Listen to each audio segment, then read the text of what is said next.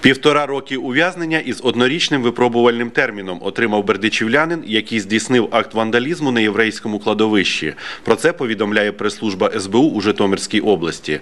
На початку березня цього року 21-річний юнак осквернив усипальню цадика Леві Ісхака та ще кілька могил.